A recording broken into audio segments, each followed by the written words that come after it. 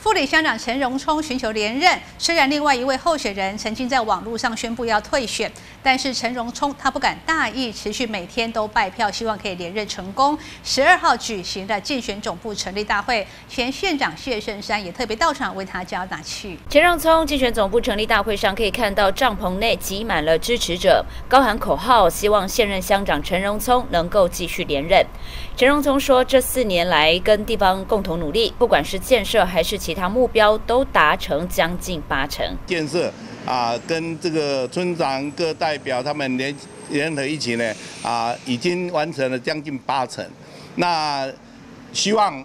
啊，这次如果能够连任成功呢，我们继续的来啊发展富里的农业跟光观光结合。另外，陈荣聪说，他最重视的就是农业与观光的结合。